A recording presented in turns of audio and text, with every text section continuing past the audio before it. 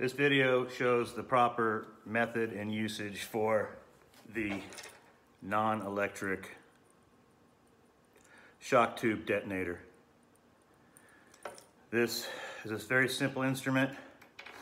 You pull the trigger back like this. You unhook the chamber here. You place a 22 shot shell primer in there. You replace that chamber there. Trigger is back. Safety pin is inserted. And then the unit is placed on the ground or next to the uh, blaster in a safe area until the time comes for the one minute warning. At the one minute warning, the blaster will continue to monitor the area.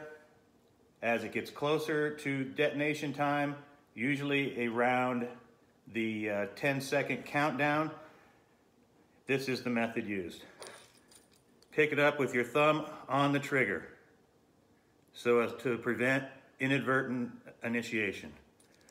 Remove the firing pin, the safety pin. Take the shock tube, put it in like this. 10, 9, 8, 7, thumb on the trigger. 6, 5, 4, 3, 2, 1, fire in the hole. Boom.